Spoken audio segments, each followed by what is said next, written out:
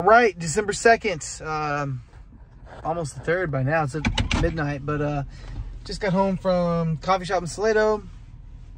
Opening tomorrow from 12 to 5. Man, this has been an amazing little journey. I'm so grateful for all the people that have been put in my life. And um,